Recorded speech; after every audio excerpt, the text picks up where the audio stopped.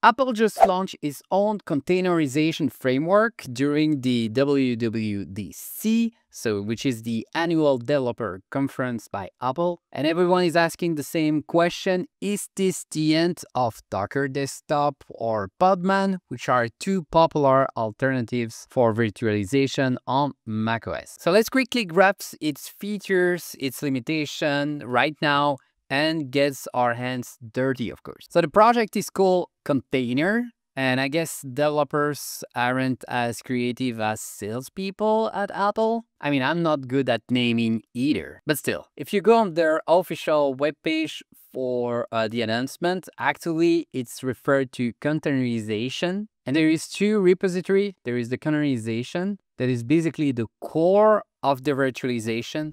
And then you have the container, which is basically what developer is going to use, is the CLI to create the lightweight VMs. And one fun fact is that I know for sure AI didn't write this code because a PR was submitted to fix typo among, you know, variable name, as you can see, or comment in the code, which is like something an AI would never do. So kudos to you, Apple, for this handcrafted software. Anyway, under the hood, it's an open source uh, Swift framework. Also, another thing interesting is that this is under the Apache 2.0 license. And maybe you don't know, but Docker Desktop is no longer free for commercial usage for a while now. So if you are using it in the context of your work, well, you probably own money to Docker. And the interesting part, as I already said, is that it has its own lightweight Linux virtual machine. So basically in a typical Docker desktop, you usually have one large uh, Linux virtual machine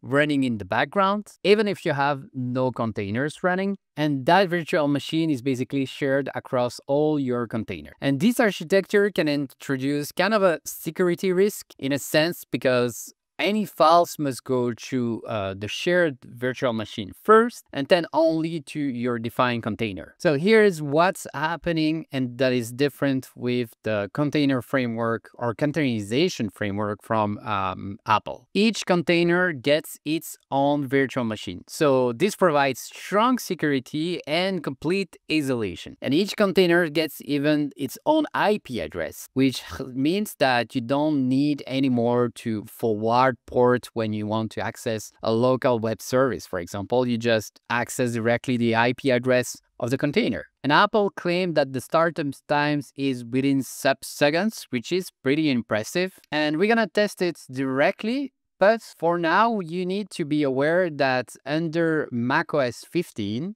it works, but there is uh, a couple of limitations because this has been designed basically for macOS 26, which is still in beta and will be GA this fall. And yes, if you are confused about the version number, that's normal.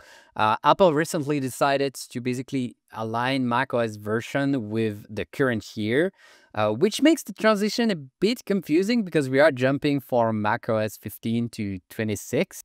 but hopefully in the future, things are going to be much clearer. And I just find it nice that you can tell when an operating system version has been released just by its name. Anyway, coming back to the limitation, if you look at uh, the README network isolation, so container to container is not possible at the moment. So that's a big meh if you're using multiple container with a database and a web server. And the other uh, thing around the container IP addresses. Anyway, it's still really early on the framework. So if you want to try it, uh, you go to the container repository and you can go to release and just download the installer and you're good to go. So if you are familiar with Docker Desktop and Podman, you will feel right at home yes, it supports Docker file definition before you ask. So the first thing you need to do is just do a container system start to start the service. And then you can do a container image pull, let's say Python, and I'm gonna grab the version 12. So other ways is downloading the image locally, so it takes a bit of time. And you have, of course, after we do a container run,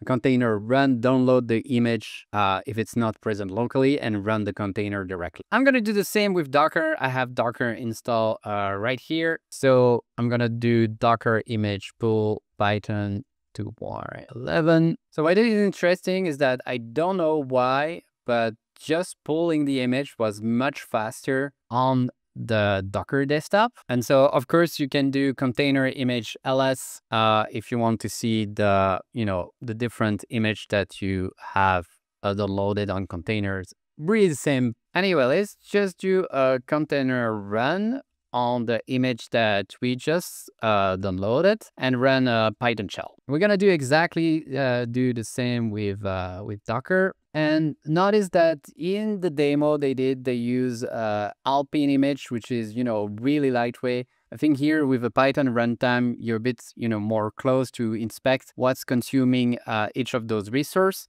So let's do now to the activity monitor. I'm going to look for uh, Docker. And if you see for Docker, I have a bunch of stuff uh, running. There is a large VM, as I said, that takes, you know, 3.5 uh, gigabyte of RAM and it's, it's some CPU. And if I go to container, which is uh, this, I have also a couple of things. I'll put it to the Docker page that we just saw, but clearly, as you can see that the container footprint in general is much smaller. But remember here, the large VM machine that we have for Docker that's desktop will be shared around all your containers. So you still have an overhead each time you add basically a container on the containerization Apple framework. But that being said, I doubt you're gonna reach like the same value of the baseline because usually you have two or three container maximum running at the same time. Anyway, that's it for the quick hands-on. However, there are multiple things, as I said, the project is still early that are missing. For example, how multi-container uh, workflow will work. Will Docker Compose uh, be supported? If you use dev container with Cursor or VS Code, uh, how will the integration look? And I'm managing this heavily for every project. So really hard at the end of the day to really use it right away today. But it is a really exciting news. As it said that Apple is finally owning officially a containerization framework. And performance-wise, they can work really as close as uh, the native API. So yeah, definitely something to watch out for when uh, macOS 26 will be GA by the end of this fall. Anyway, that's it for this one. Take care of your container and I'll see you in the next one.